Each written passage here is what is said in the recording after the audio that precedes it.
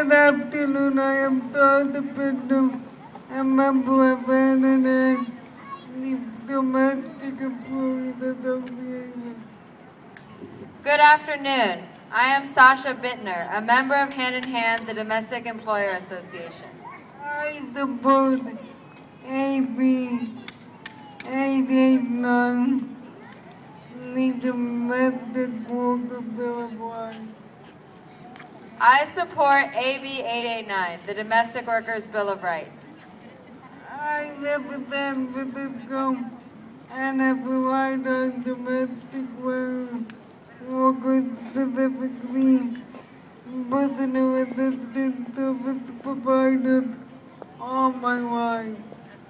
I live in San Francisco and have relied on domestic workers,